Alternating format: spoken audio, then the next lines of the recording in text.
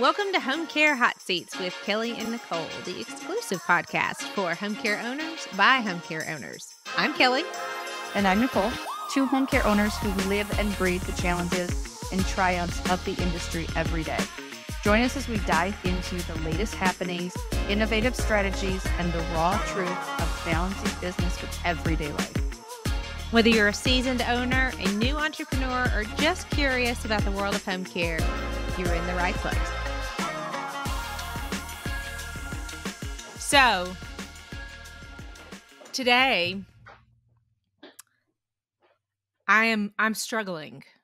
Yes. So, I'm thinking like maybe we should talk a little bit about the struggle. I think that's a great Um, topic. And I mean, while you're in struggle is probably the best time to talk about the struggle, but at the same time, the emotion of it. Uh-huh. So, I, do you need to get that? Your phone is ringing off the hook. It's the main office number. I'm good. Okay. I don't I haven't answered a phone here in years. I can't. I have phone trauma, which again, struggle. I'm sure home care owners can can completely understand. Anytime that phone rings, my stomach knots up. And I just Yeah. I get so scared and nervous. so Yeah, yeah, I feel that. talking struggle. It's a struggle for me. I hate answering my business line. But I think like Yeah. because of the purpose of this podcast, I think that while everybody wants to hear all the like woo woo good great things that come from being a business owner, I think it's important to talk about the struggle and there's no better time to talk about the struggle than when you're going through it because when you're on the other side of it, like when you're in it, you're like, God, how am I going to get through this? What does the end of this look like? And then when you're at the end, you're like, God, I'm such a drama queen. I made such a big deal about this, and it really wasn't that big of a deal. I'm very reactionary. My New Year's resolution every year is to be less reactionary. I fail miserably every year, but whenever something That's- happens, because I try to control and plan everything, when something happens that I was not planning or I had not thought of a scenario for, it's like, oh my God, this is literally the end of the world. Everything is going to go horrible from here. And I just, I just like totally Yeah. mind myself. Sorry, I said the F word. My bad. We're trying not to do that. just we'll we'll beat that out later. Sorry, guys. But yeah, no, We'll I think struggle is struggle is something that us home care owners and any business owner really deals with on a regular basis. So I say for all of the true crime loving podcasts, dark entity people out there that are listening to this, we should jump right into the struggle. So, what's your struggle, Yeah. Kelly? Okay. So my struggle is the elusive balance. Um and I think that most people can probably relate to the balance, right, of owning a business and managing a family simultaneously, hmm both at the same, t- you know, like trying to do both well. Um, I- listener, just FYI, this is not a we have figured it out kind of a No, episode. if you came here thinking Um, that, sorry, we're, that that ain't us. If you came for answers, no, no. Think again. Um, if you came to commiserate, We're here for it. welcome. Yes, you're among Yeah. So, you know, I feel like after seven years in business, I should have a better grasp on the flow, right? And you, best laid plans. I knew that this month was going to be a slower month for home care. You know, statistically, we kind of understand the Yep. ebbs and flows. And so I purposefully then front loaded my year with some other projects that I needed to do. And I took a lot of December off for the family. Like I worked really hard, that was my goal, and that went great. So, you know, anytime that one side gets more of you, the other side is not. So I gave mm-hmm. more to my to the family, right, for end of the year. So business didn't get me as much. It was gonna flip flop. Well, best laid plans. Um, I mean, I am drowning in the life of it all. Our home manager nanny, home manager is just a fancy word that we decided to use for our nanny. Um, put in her notice, which is life, right? But she's been with Mhm. us for two years, and when she, when I say she put in her notice, like she put in thirty days from that day. Wow. Like, see ya. Um, and I mean, it's great for her. She's going back home. You know, she's from the north, so it's not like she's moving on to a different family because she hates our guts. But it's still like she, you know, does a lot. And I've got three kids under 11, and they're busy, and soccer season starts up here soon. And um, I real, just realized that none of them had a scheduled dentist appointment and one's got a hurt tooth.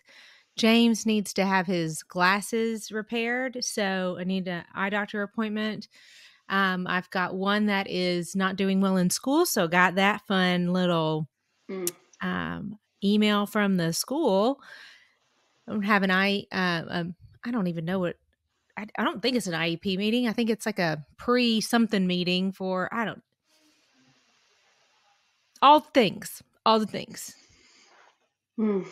and on top of all the things that I'm trying to do for work, right?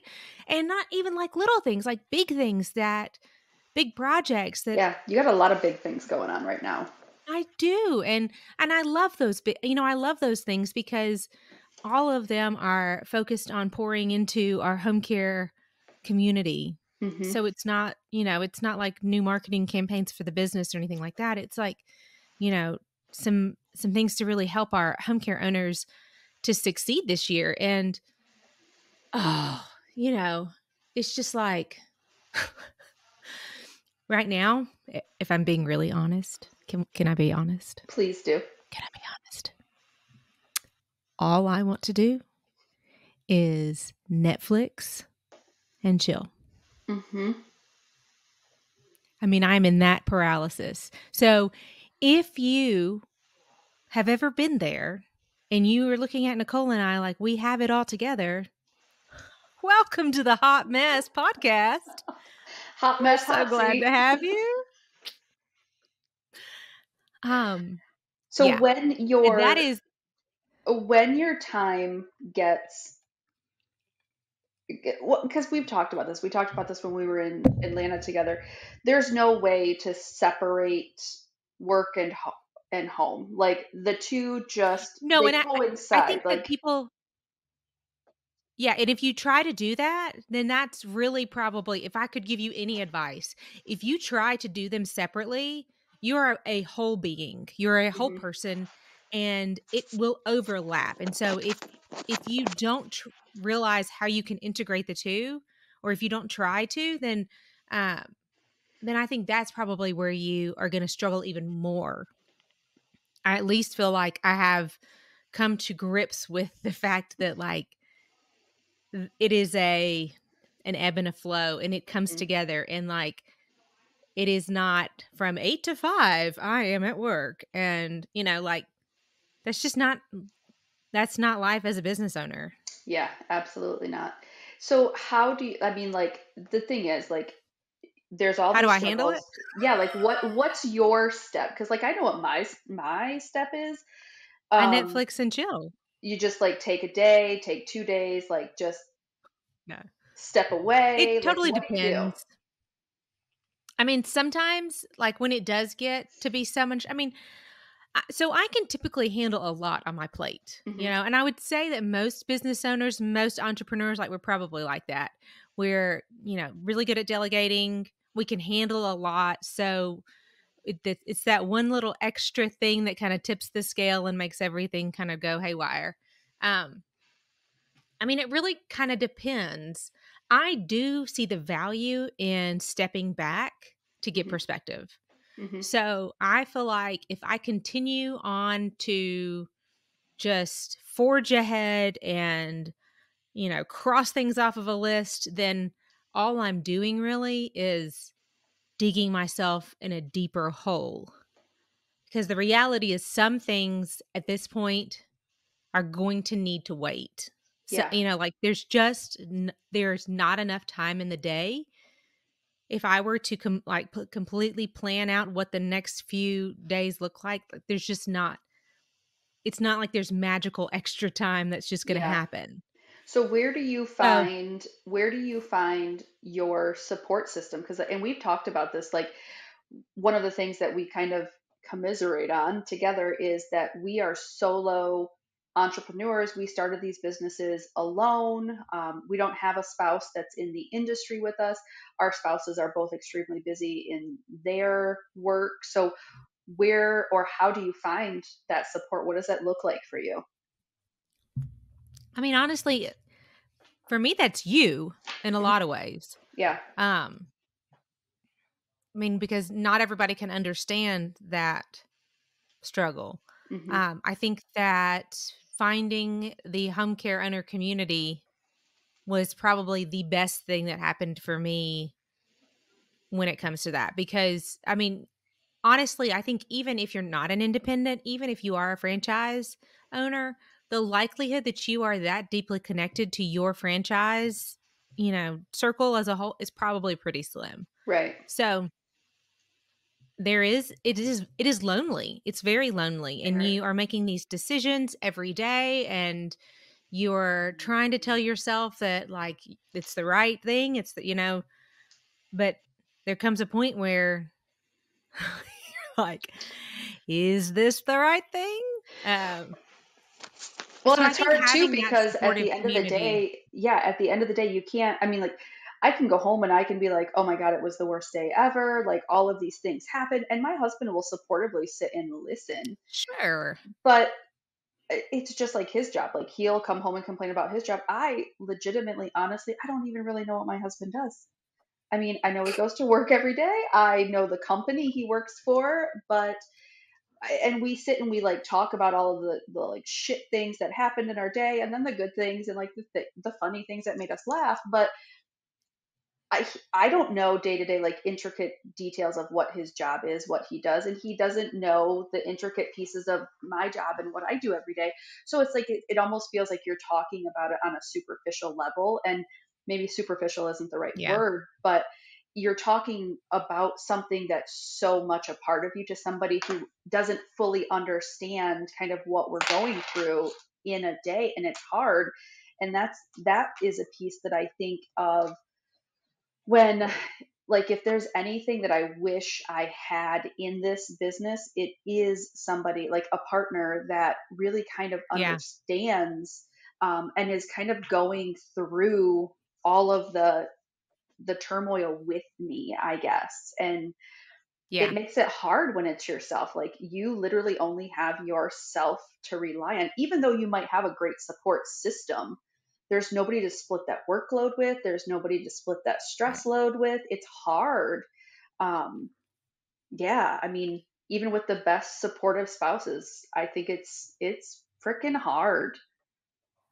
yeah i agree i mean i think that Um, you're right. I mean, it, it's not that the conversations are superficial necessarily, but they're surface level because, hmm um, you know, if you don't understand the intricacies of of the job, then it is hard to relate on a deeper level with it. I think the other thing is that, you know, we talk about these businesses that we have created, and uh, in this industry, especially, I think when you look at the industries that are very altruistic, um, you don't come into this to solely make money hmm um, because there's a hell of a lot of better ways that you could make money. So, I mean, I'm just sure. throwing that out there.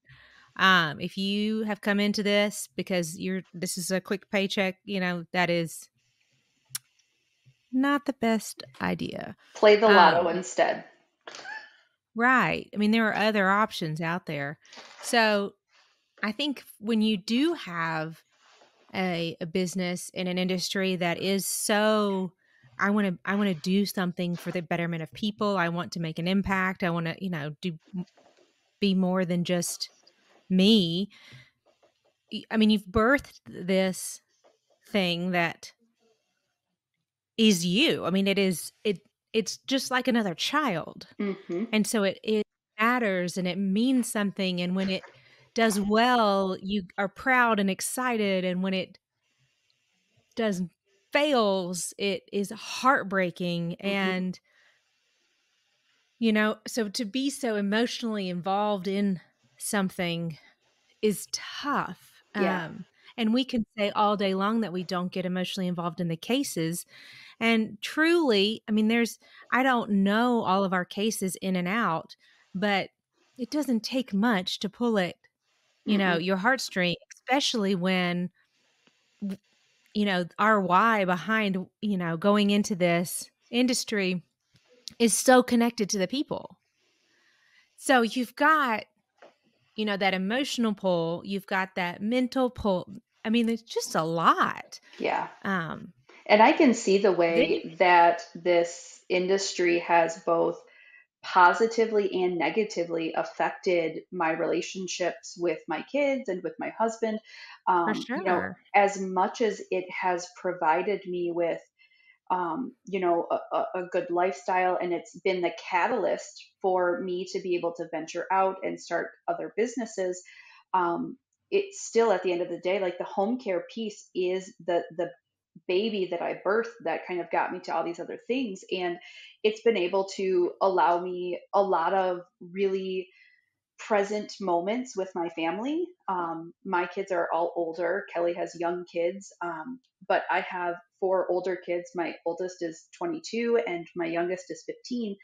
Um, and so we've done some really cool family vacations. We've been able to provide kid, our kids with opportunities that um, we're very fortunate that we've been able to do those things for our kids. Um, but it's definitely taken a toll uh, and kind of put some relationships like uh, my daughter i remember her saying i was i was home home you know i'm physically home but i was doing a schedule and she was talking to me and she's like mom are you working? And i was like yeah yeah i'm working.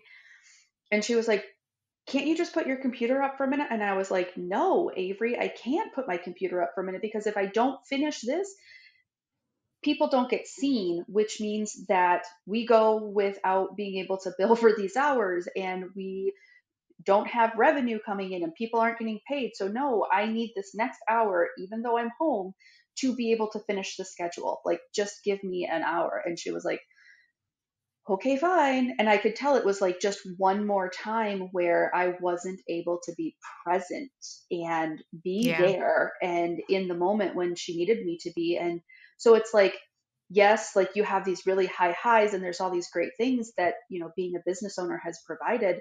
But that, you, you know, we always focus on as uh, we have all kinds of parental guilt, anyways, even in the best of scenarios.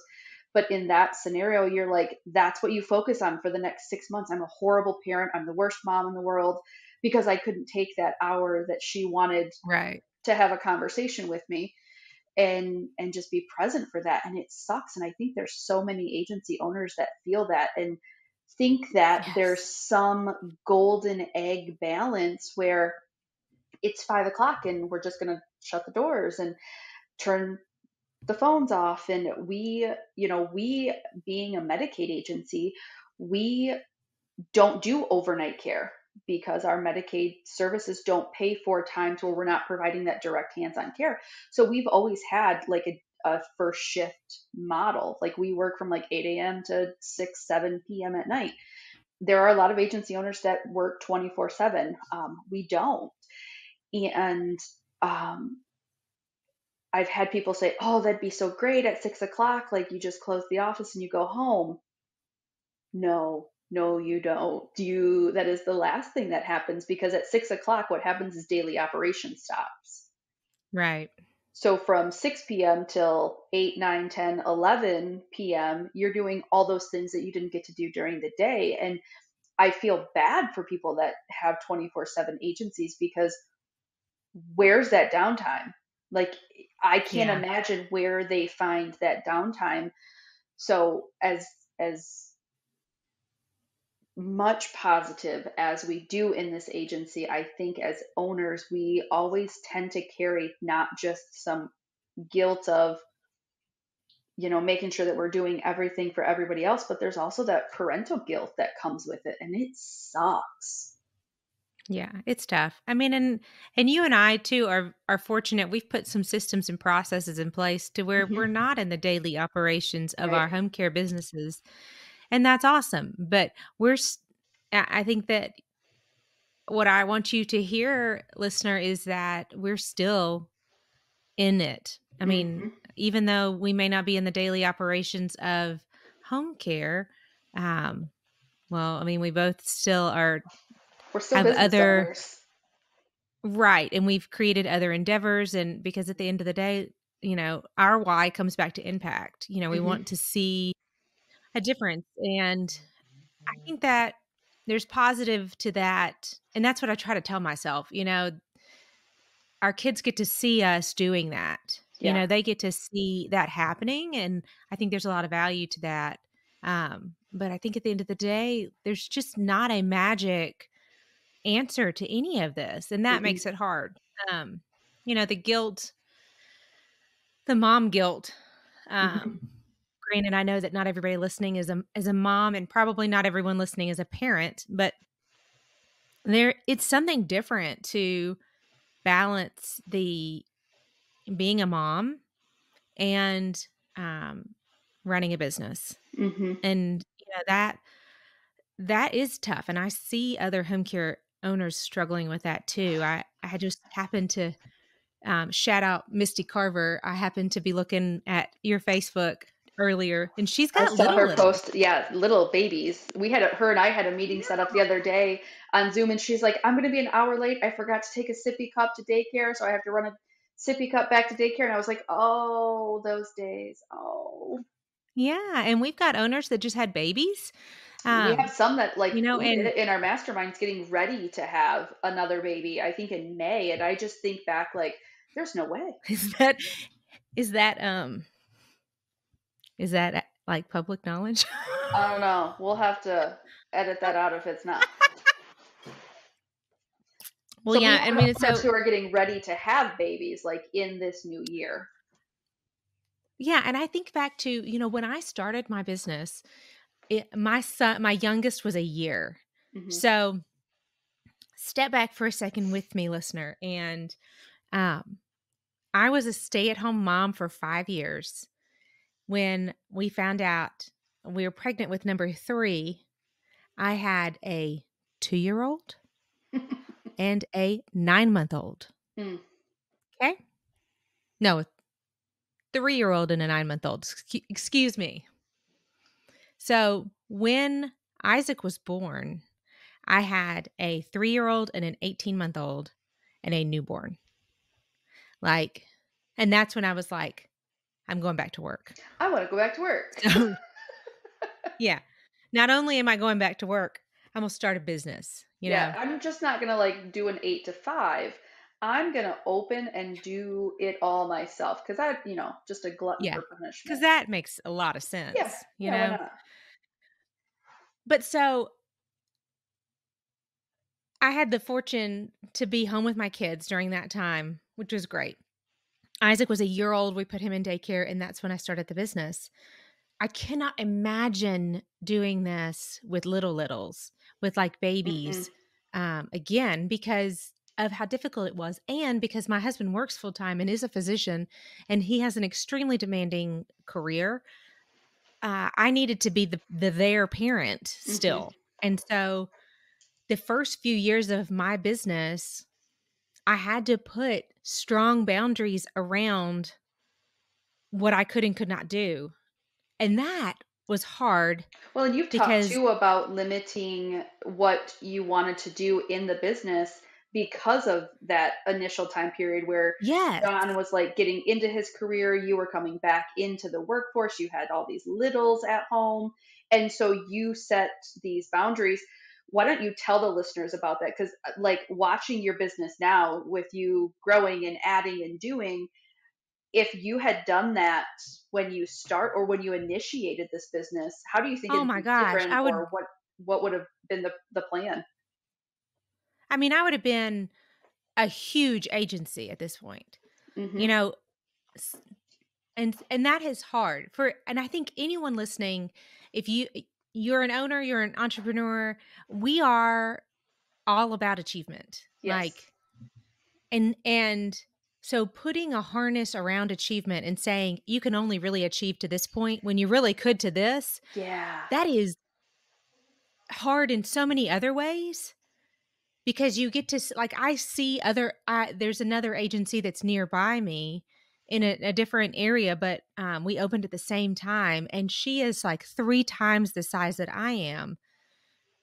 And that comparison game is hard and Yeah. guys i am not a comparison person. I you know for me i very much feel like i'm in my lane where i need to be. Um, i fully believe in abundance over um, you know what's the word? Um, scarcity it's friday i'm sorry. I fully believe in abundance over scarcity there's enough to go around um, so i'm not a comparison kind of a person. But to have to put a harness around what you can and cannot do and to only be able to grow to like a certain point oh my gosh that's so hard. And then you know i, I was what covid hit in 2020 so my agency was literally only three years old just barely getting started and i had a daycare child a um, kindergartner and a uh, first grader Mm. that had to come home and i mean it basically was like we as a as an owner made it i had to make a decision like okay we're gonna float whereas everyone else got to grow and got to really take advantage of that time Yeah. I did not. I, I we had to make the decision. Okay, for one, we're gonna we're just gonna have to float. Um, my husband was working in the hospital directly with COVID patients, so the fact that he would come home to us meant that I could not go out and do assessments or be around anyone. Right. Um, and and you know, at for good reason. Especially in the beginning, we didn't know what that was going to do to other people, and so I had a podcast that was doing really well at that time. Completely had to shut that down. Um, I mean, it was tough. So, and we, and we did. We floated. like that's all I could say. We made it out. But I look at where we are today versus then. For one, I am so proud of where we are because um, we would have looked like a very different agency had I had the opportunity to grow as fast as I want to, as I would have wanted to. Yeah. Um, but two, I don't think I would be in, I don't think I would have found my purpose now had I not Well, had maybe, the restraint then. Maybe because I was on the other side of that. Um, Yeah. so I, I mean, my agency is even newer than yours. We opened in 2018, and we came. I came in not one, not wanting a home care agency. I never wanted to own a home care agency. Um, for listeners out there who haven't heard that story, I started an adult day center. Um, and we did very very minimal home care um, we would maybe send i think i had two maybe three caregivers very prn um, they would go into the homes they'd help people get ready they would bring them to the day program people would spend the day in our day program and then the home care aides would come back take them home and maybe do some evening care but that was it. And covid happened and our day shut our day center had to shut down. And the day center was uh, at the end of the day i only wanted the day center because i knew i could do it myself i didn't have to rely on Yeah. staff if i had to go and isn't that the truth? oh my god that was the only thing that i wanted i had come out of working in healthcare and doing investigations and hospice and i didn't want to rely on anybody else because i had been seeing all of the bad in everybody i mean the investigations i was doing they were horrible things and then in hospice i mean it's a completely different type of horrible. Like you come to love these people as your mm-hmm. very own, and you never think about the fact that there's a 100% mortality rate. Everybody's going to die that you're taking care of every single day. Right. And so, like, there's this constant heartache. And so, leaving that, I wanted to just be me. I wanted to just take care of people in a really controlled environment and it was doing great. Like we were we were killing it. And then covid happened and we had to close and our only option um, our only option was home care. You know i had this small business loan that i had taken out to start this. I Yeah. still at that time i hadn't left my my normal nine to five. So i was still doing both jobs. And then covid and so i was still doing my investigative work for um, mental health and doing the day program and then covid. So i'm like oh trying to transition a day program into a home care agency while doing investigations While still working. completely remotely because I couldn't go on site anywhere. Um, so I'm doing all these investigations over the phone and on Zoom, and you've seen what my internet capability is like. okay, here. time out, time out, time out, time out. You were you were do I'm sorry. You were doing investigations via Zoom. Yes, ma'am. So my job consisted of doing investigations and also doing audits. So I was So doing did people site have to like bring you like around the the home like Yes, I was on it. Like we gave all of our homes that we contracted with, um, they all were given tablets or iPads. Um, my former CEO, phenomenal woman. I have the absolute utmost respect for this woman. Shout out to Carol Mills. She's a freaking genius. Um, but she like got this grant together, got all these iPads and these tablets and started distributing them. So then when people had to have like their case managers visit them or their nurses visit them or anybody from CMH come in come in and see them, it was on this tablet. So that's great. same thing, like you have to have your yearly recipient rights assessment. So there I was on the tablet and they would walk me from room to room and then like if I was questioning some a staff or a resident that filed a complaint, it was they'd set my tablet up and I would be face to face with the recipient um, and so, I mean, we were doing Okay. everything. Can I tell you for just a second? did you ever do you ever watch um The Big Bang Theory? Yes. Okay, you know when Sheldon like decides that it's too dangerous for him to go out in the world and so he creates like a robot the, Sheldon. the robot. That is what I'm envisioning right now. Like I'm envisioning a robot Nicole and she is like going It- it around wasn't and that far off. I mean that's awesome.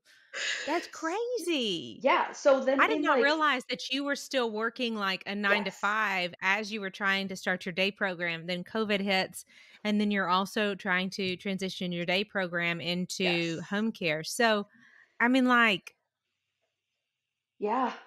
All of like. I would at when before like the world shut down, like I had staff that would be in the field, you know, taking care of folks, and then I had um, one that would come in and help in the day center. Um, but I would take off strategic days and I would work here when I would, you know, use my PTO and take time off there. But then, like on my lunch hour from CMH, I would go to my car and I would work on stuff in my car on my tablet in my car. And on the weekends, I lived in my office on Saturdays and Sundays, or I'd get out of work and I, I had a 45 minute drive home. Um, so I would drive from my office to this office and then I would work for three, four, five hours. I would help if the day program was still going. I'd take people home.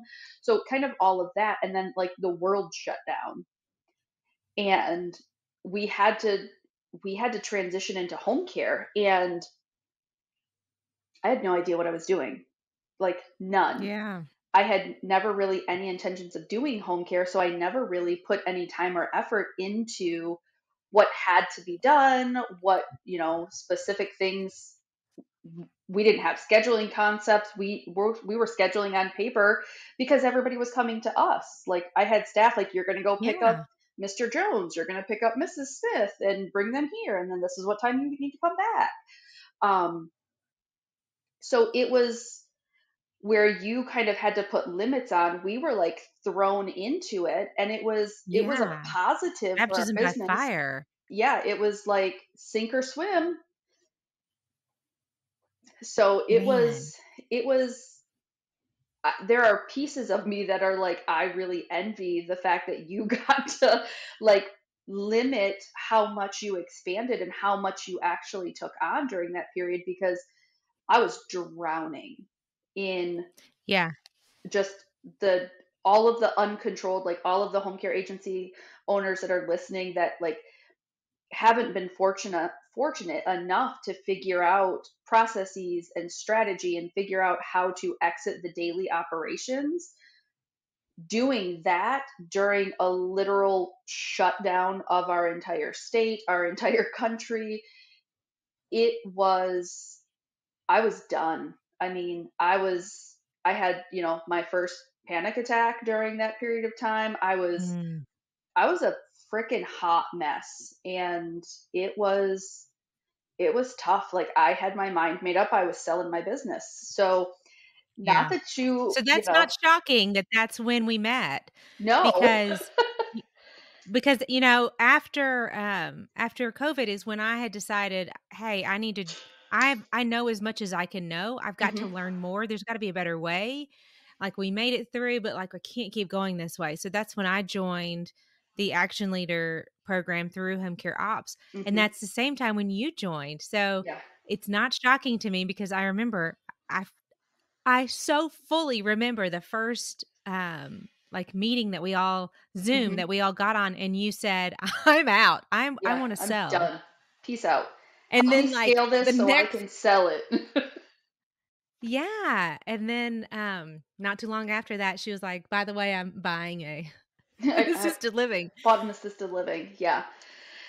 Yeah. Yeah. But that's not so I get that now because I didn't realize that that's how it all kind of came together for you. So it, what's I think what's interesting about this listener is that when you know we say not to compare your chapter 1 to my chapter 30 Mhm. okay and this is such a good example of that because if you were to come in and see Nicole and I right now you would think that we have it all together Yes. it was intentionally planned out this way like it every step was well planned and executed and but the reality is that is not how it happens and so your chapter 30 is going to look so different Mhm. than your chapter 1 so it's just so important not to compare yourself not you know not to see someone and say oh my gosh like why do i not have it together when they do Yeah. because the reality is for one we're at two different places but the other part of it is that no none of us really do you know No, and we've been there. And- like there was a long period of time there. where we were like, I don't have this together. I don't know what I'm doing. I don't know how to run a business. Like I can give great care to somebody. I can take care of somebody until they pass away and I can do it phenomenally, but I don't have a clue how to be Yeah. a business owner. And that is yeah when you become a business owner, there's so much riding on your shoulders. Um, you know, like I had rent, I had a, a loan that I had taken out, I had emptied my retirement. My husband had taken money out of his retirement, and like all of this was invested in the business. So I was, I, I had done everything I knew how to do to make it successful, and it was failing miserably. I didn't know how to manage Mm. people. I didn't know how to do any of that. So when I found action leaders through the home care ops, I my whole intentional goal was to fix what was broken and then sell it because I was done. I was I was going to continue working my 9 to 5 job through this restructuring, through this scaling and then sell this and continue working doing my uh, i was going to continue being the director of the rights office like i had been because i knew it and that was literally one thing at five o'clock i could shut it down i could be done. Yeah. And it was not like even when i made up my mindset to do that it wasn't like it was this easy thing. It only got harder because I had to deep dive into the things that weren't working. And when you're somebody who really takes that in like what you have been doing is so personal and to realize that literally mm-hmm. everything you're doing is a hot freaking dumpster fire and nothing's working. You're just throwing things at the wall hoping that they stick and then you're like okay now i need to fix these things. And yeah i know i need to have processes. I don't even know where to start with a process. Like right. what do i look at? What needs to be done it, it was a deep dive I had to like get out of my own head and I had to just say like Nicole, what you're doing sucks. You've tried.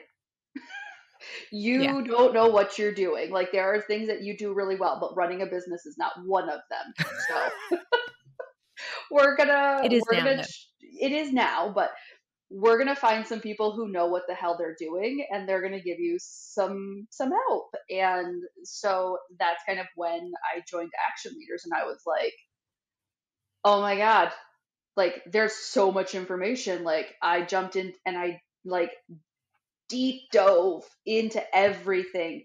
But even that like what i found was the people that are you know giving this information justin and clint they've got phenomenal advice what I didn't realize at first is, you know, they're talking from an, a perspective of a private pay long term care agency owner. You know, they built these wonderful, huge, profitable companies, and anybody that wants to listen to them, like, check them out. I, they are, you know, wealths of knowledge and so much so that like now I'm coaching with them like Kelly and I are fully ingrained yeah. in the home care ops but I had to take what they were teaching and figure out how that worked for my business because my business wasn't a long term yeah. care business. It was a Medicaid business. And where they had, you know, profit margins that were this big, I had slivers of a profit margin. So it was like I jumped from one struggle to another, but it it, to do that in this industry, I think is so incredibly important. And it's not impossible. It feels like it a lot of the time. I remember feeling like this is never going to be fixed. Like, I just want to yeah. like leave my keys on the desk and just walk away from it. But it absolutely, for anybody that's at that point where they're struggling or they don't know what the next step is, it's it's possible. Um, we've both been there in different capacities. Like it's possible to make this a not just a profitable business because i mean realistically we go into business one to to meet a need but we also go into business to make money and there's a way there's a way to do it in this industry um, i just had to like get out of my own way and stop thinking that i knew it all and listen to people that had already made the same mistakes i was making day in yeah. and day out yeah mm. So we've covered the elusive balance. We have covered the the struggle. We have covered the emotions of being a home care owner, having a family. I mean, listener, we have gone through all kinds of things in this episode. Um, Nicole, if there's one thing that you would want to leave our listener with, what would it be? Hmm. I would say to leave you with one little nugget, it would be I think probably to, for me personally, I struggled with recognizing that what I was doing wasn't working. And if you are in a place where you're consistently in a negative headspace and it's hard to find the positive. And when you look at your business you get this feeling in the pit of your stomach that's anything but positive. A lot of us find ourselves there and sometimes i slide back there myself some days. But if you are at that place more than you are not it is absolutely critical for you for the betterment of your business, for the longevity of your business, to start finding a community, start finding resources and a support group. Because for a long time, Kelly and I kind of fumbled through and we didn't have that. And yeah. I don't know that I would have stuck this out and taken this business and built it into what it is without a community of people that understood what we were doing and and legitimately wanted the best for me. They didn't view me as competition. They viewed me as another struggling right. agency owner. I think the community piece, the coaching piece, I do believe that those are the things that make or break a business, especially in this industry. I can't really talk to other industries industries outside of senior care, but in the senior care world, you have to have a support system. And yeah. that would be kind of what I leave listeners with is figure out who your support system is. If you need, it's Kelly and I, even if it's just listening to this podcast once a week, somebody to kind of give pointers and tips and tricks and commiserate with that you have to find out what support looks like for you and figure out who that support system is. What about yeah, you? Absolutely. Yeah, same. I mean, I think that um, living on an island for so long, you know, and, but then finding your people, um, find your people, you know, and we'll put in the show notes our home care owners community. You know, if you don't have a home care bestie that you can go to or an accountability partner or you know um, the amazing thing about the home care ops community is that it is a free um, facebook group just for you to gain insight to gain knowledge and support but also just to reach out and to meet people and so i would strongly suggest for you to join that and put yourself out there you know be mm-hmm. vulnerable be authentic find your your people. Um, but you know, we want to hear from you. I, I want to hear from you because uh, what we have learned during this journey is that we're not alone, but we don't talk about it. So if any of this resonated with you today, um, share this episode with a friend that you know in home care that could also benefit. Um, leave us a comment. Give us a um, a hell yeah, feel you there. Um, you know, any of the above, because we're all in this together. And the reality is that even though we like to say business is business is business, our business is unique and mm-hmm. um, and it can be challenging and it can be difficult at times. So we want you to know, listener, that you're not alone, and um, and that even like Nicole said, if if you only have us every um well once a week when you listen to our podcast, at least you've got two home care besties um that are that are here in your corner letting you know that you're doing an amazing job. So, keep at it.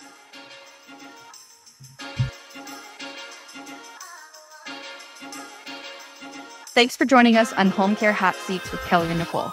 We hope today's session has given you insight, inspiration, and a sense of community in this ever evolving journey of home care ownership.